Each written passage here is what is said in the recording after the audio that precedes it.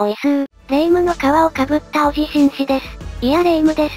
どうした？急に。みんな久しぶり。ついに終末戦争が実装されましたね。これを楽しみしてた人多いんじゃないですか？ですね。これの出来次第でサービス終了がかかってると言っても過言ではないと思います。そんなに？とにかく細けいことは抜きにして、早速行ってみましょうか。ようこそ我がファクションへ。おお、初公開だな。リア友と二人だけのファクションだよ。二人だけで終末戦争を挑む気ですか？まあのんびり無課金がモットーだからね。しょうがないね。それでは終末戦争の画面へ。おお、音楽がかっこいいな。ここの音楽は100点だよ。さて、今回の終末戦争では新宿、お台場、秋葉原、以上の3地点から選ぶことができるみたいだよ。ほん。各拠点ごとにボスがいて、そのボスごとに弱点が違うから、弱点属性の攻撃を持ったパーチー編成で戦うみたいだね。なるほど。ボス戦の前に前哨戦なるものがあって、雑魚敵と戦うことになるよ。その雑魚敵は全体攻撃スキルを持った味方編成。ボス戦は単体攻撃スキルを持ったパーチー編成で戦うのがいいみたいだね。ふむふむ。そしてここがポイントなんだけど、雑魚戦で与えたダメージによって倍率が加算されていくよ。というと、もともと持っている倍率は1倍なんだけど、雑魚戦でダメージを与えれば与えるほど倍率が上がっていくよ。なるほど。2倍3倍4倍となっていくのですね。そうそう。そしてその倍率はボス戦で与えたダメージの合算が積分されます。というと、例えば雑魚戦で上げた倍率が5倍だったとすると、ボス戦で与えたダメージが1000だった場合、与えたダメージかける5倍の計算式になります。なのでボス戦で与えたダメージは実質5000ダメージとなるのです。頭がこんがらがってきた。まあパチスロ化け物語の売買チャンスみたいなもんですよ。う、売買チャンスで20枚しか出なかったトラウマが？引き弱すぎはロリッシュ。とりあえずどんなもんかだけ実践でやってみましょうか。あいな。はいこれが前哨戦ですね。多量の雑魚敵がいるな。秋葉でこんなにアーマーンが湧いたら微強感ですね。普通に自衛隊案件でしょ。ここでは右下の倍率に注目してください。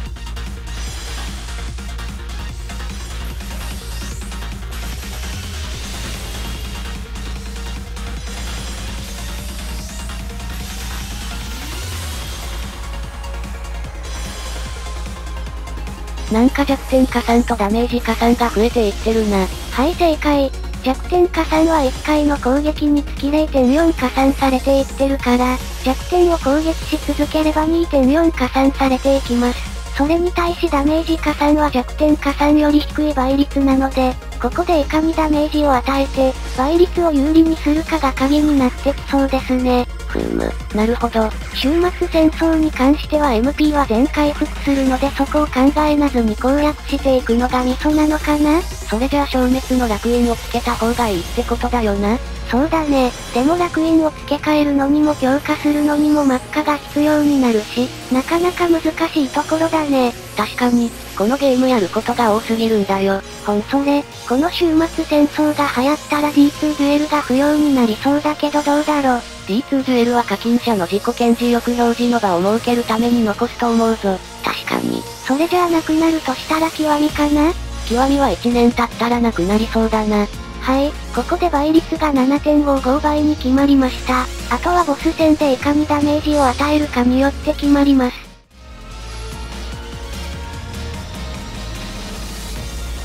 はい、新悪魔セラフです。セラフで合ってるっけ？知らん初めて見たような気がする。まあなんでもいいけどボスは新悪魔です。それじゃあ1周目はおじ紳士の攻撃をじっくり見ていきましょう。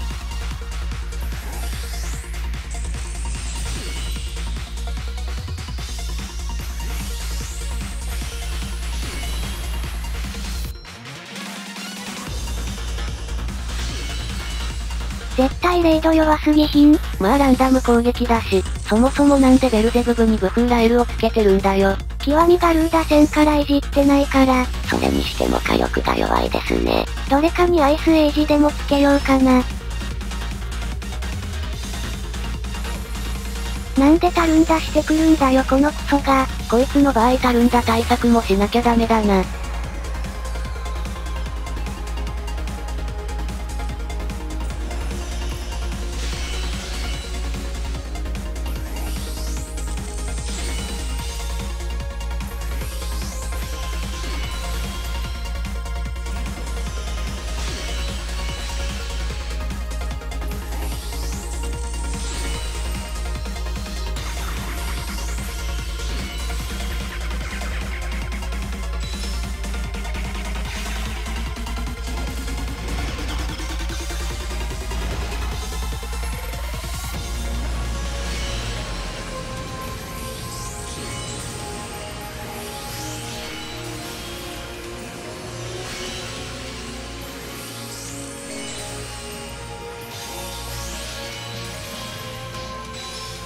はいこれで攻撃終了となります。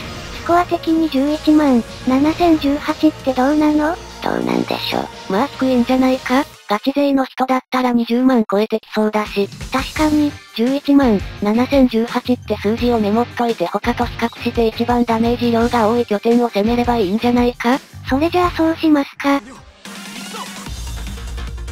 次は新宿を攻めてみます。新宿っていうとボス技黄金源ですね。ってことは電撃が弱点か。手持ちの電撃攻撃できる悪魔をかき集めてみたよ。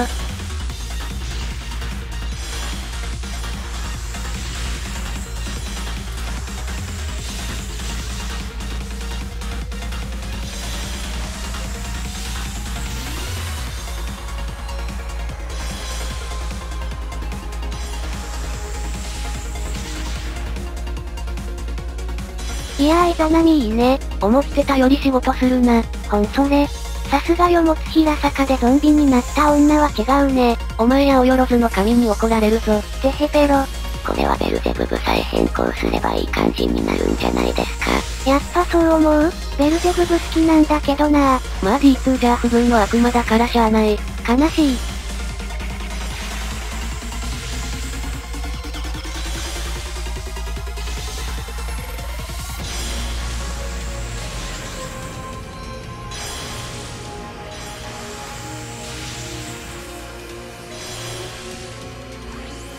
さっきより倍率が下がってしまった。一応さっきは全員楕円形でしたし。ですよね本気でするんならブースターとスキル付け替え必須だね。そこまでする価値があるかは不明だけどな。まあマグもマッカも足りないからしょうがないよね。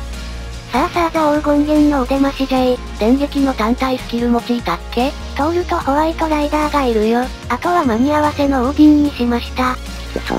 まあ見てなって。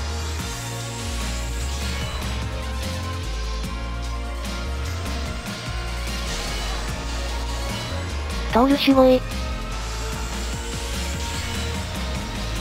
オーディン何しに来たのさ、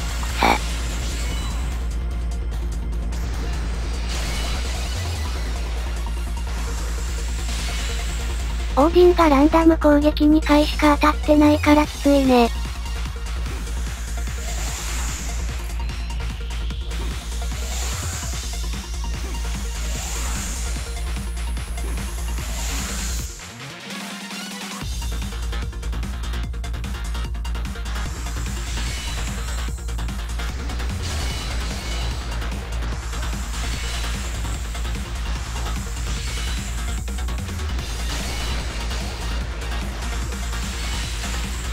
今回はオーディン仕事したな。前回のと足して割ったら平均値だろうね。ほーん。てか敵の攻撃のターンっているのかな？時間の無駄なんだけど。ですね。相手の攻撃で死ぬわけないし本当に無駄。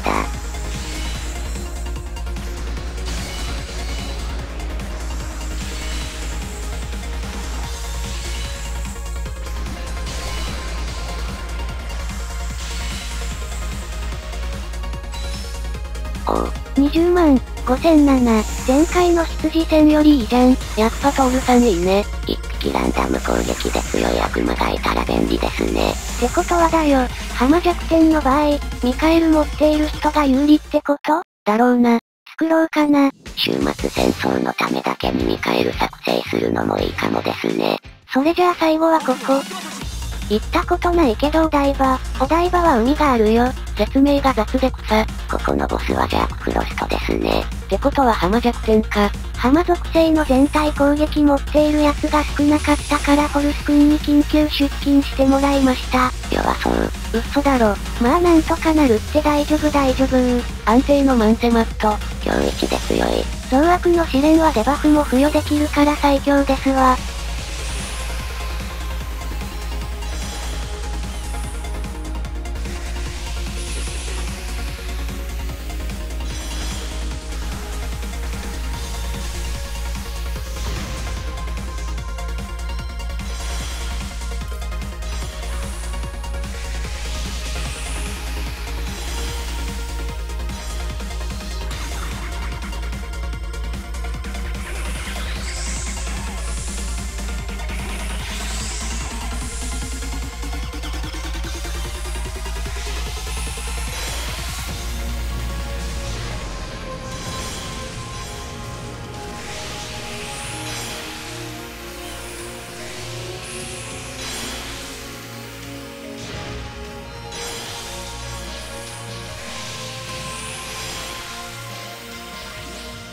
倍率が7.3倍です。秋葉原の7.55倍が倍率では一番高かったな。ホルスを外して魔力もりもりのスフィンクス入れるだけで秋葉に勝てそう。ここのジャー君かっこいい。ですね。さてそれではこちらの浜属性、単体スキルは全員ランダム攻撃編成にしました。冒険したな。運が良ければ新宿に勝てるかも無理でしょ。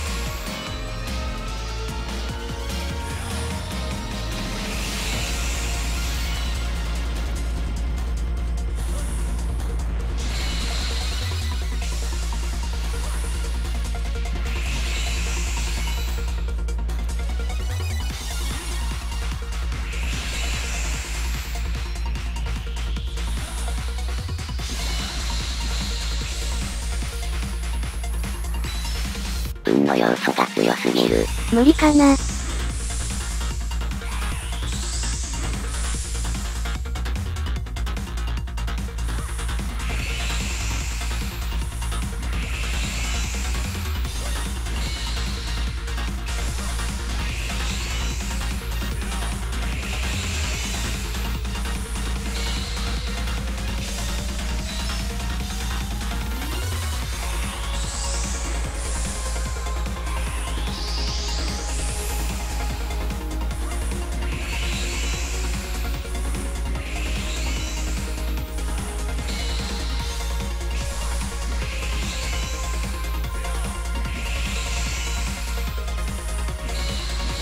アヌビス強くない？無慈悲の一撃と魔力が高いから残党だね。さばきのライカつけたらもっと強くなりそう。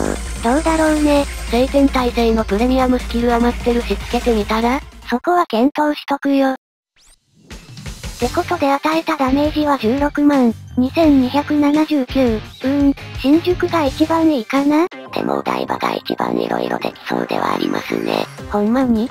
持ち込み倍率ってなんだぜ？持ち込み倍率ってのは、前日に戦闘に参加したファクションメンバー数に応じて倍率がアップするみたいだよ。ほーん。まあレイムたちのファクション。ポルチオフロスと戦作隊には全く関係のない話だけどね。てかファクション名すげえ名前だな。行かれてやがる。はいってことで皆さんいかがだったでしょうか？与えられた事前情報だけじゃピンとこなかったあなたも、実際プレイして感じたんじゃないでしょうか？うちのファクションじゃ無理ゲーだと。でも安心してください。うちのポルチオも無理ゲーですから。いやそれだと終末戦争が無理ゲーなのかポルチオオナニーが無理ゲーなのかわかんないんだ両方です。てかがちりたい人はちゃんとしたファクション目指した方がいいかもしれないね。それももらえる報酬次第じゃないですかね。ファクション上位しかもらえない限定悪魔とかいればガチ勢出てくるかもしれないな。それいいね。ランキング10位まで限定でライドウとかカオスヒーロー配るとかならセルラン1位いくかもね。それなら欲しい。それならおじしんしも課金しそう。まあありえないと思うけど、ではみんなも週末戦争とポルチを楽しんでね。バイなら、